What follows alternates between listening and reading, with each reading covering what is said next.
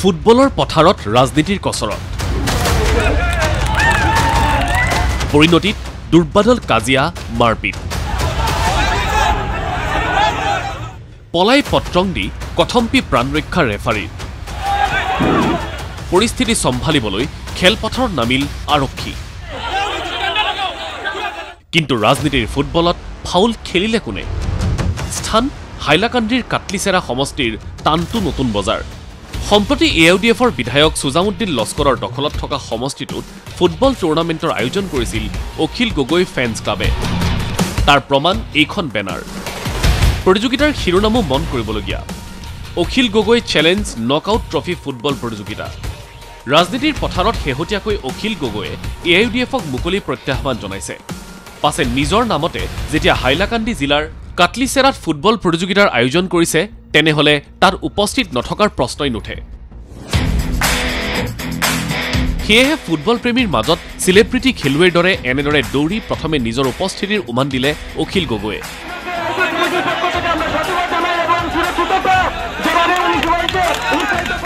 খেলপথাৰত লেপেটা কাঢ়ি বহি আন দৰ্শকৰ লগত শাৰীত শাৰীও মিলালে বিধায়কজনে। তাতে আকৌ ফাইনেল খেল। ফাইনেল ট্ৰফি দখলৰ যুঁজত অৱতীৰ্ণ হৈছিল বাউৰঘাট এফ চি আৰু নিয়ামতপুৰ একাদশ নামৰ দল দুটা। কিন্তু আমোদজনক কথাটো কি জানেনে? ইয়াৰ এটা দলৰ পৃষ্ঠপোষক স্থানীয় এ ইউ ডি এফৰ বিধায়ক সুজামুদ্দিন লস্কৰৰ বিপৰীতে আনটো দলৰ পৃষ্ঠপোষক কে এম এছ এছ আৰু ৰাইজৰ দলৰ নেতা পানী নেতা। খেলখন শেষ হ'বলৈ মাত্ৰ কেইমিনিটমান বাকী থকা অৱস্থাত দুই শূন্য গ'লত আগবাঢ়ি আছিল এ ইউ ডি এফ সমৰ্থিত দলটো। কিন্তু শেষ হুইছেল বাজি উঠাৰ পূৰ্বে ৰেফাৰীৰ পক্ষপাতমূলক আচৰণৰ অভিযোগ তুলি প্ৰতিপক্ষ দলৰ সমৰ্থকে খেলপথাৰত সৃষ্টি কৰিলে যুদ্ধ সদৃশ পৰিস্থিতিৰ। হাতে হাতে লাঠি বাঁহ লৈ খেলপথাৰত লাগিল তয়া ময়া ৰং। আমার টিমে গোল রিকভারি করেছে তার ফিজত এই ভুল ডিসিশন নিয়ে আছে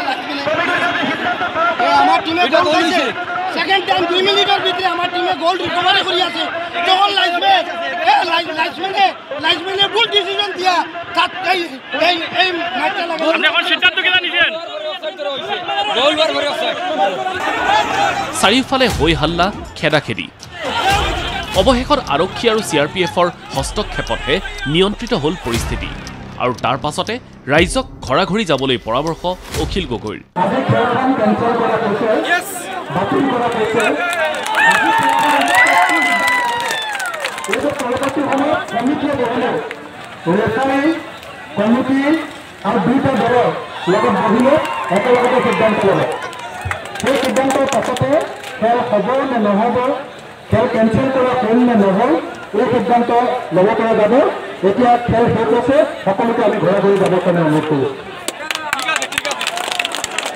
কিন্তু নিজৰ সমষ্টিত ফুটবলৰ মাধ্যমত অখিল গগৈয়ে প্ৰভাৱ বিস্তাৰত মনোনিৱেশ কৰাৰ সময়ত দিছপুৰ সমষ্টিৰ কামত ব্যস্ত থাকিবলগীয়া হৈছিল বিধায়ক সুজামুদ্দিন লস্কৰ।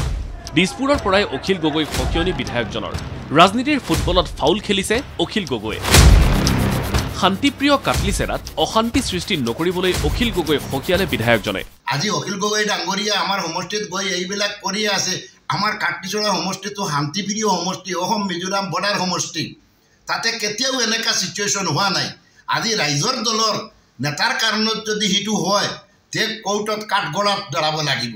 অখিল গগৈ ডাঙৰীয়াৰ পুৰস্কাৰ বিতৰণিত হাজাৰ হাজাৰ মানুহ লাঠি লেঞ্জা লৈ মাৰপিট কৰি আছে। খেলাটো ভাল কথা। খেলা খেলিলে সেইটো স্বাস্থ্যৰ কি হয় আপোনালোকে জানে। কিন্তু এই ৰাজনীতি খেলাবিলাক খেলি ফাউল নকৰিব।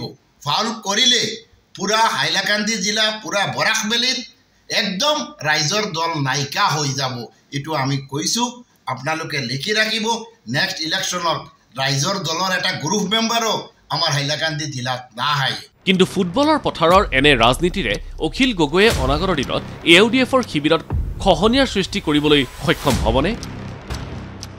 হাইলাকান্দিৰ পৰা বিধান সেনৰ সহযোগত bureau' report N D twenty four.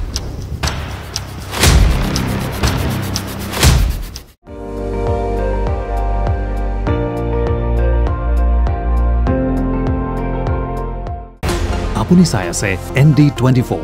সৰ্বশ্ৰেষ্ঠ নহয় সৰ্বোত্তমৰ দৌৰ